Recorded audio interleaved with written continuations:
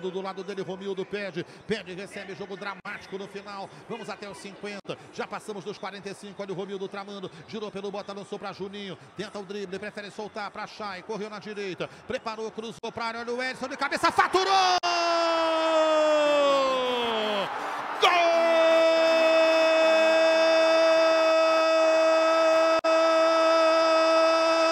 Botafogo. Erisson de cabeça. Cruzamento perfeito do Chay da direita. Erisson se antecipou e botou de cabeça no cantinho esquerdo do Marcos Felipe. Erisson, Erisson pode ser o gol da classificação. Explode o torcedor do Fogão. 45, 45. Brilha a estrela solitária e ninguém cala esse nosso amor. Erisson de novo, camisa 89, o segundo dele, o segundo do Fogão. Agora, Botafogo 2, Fluminense 0.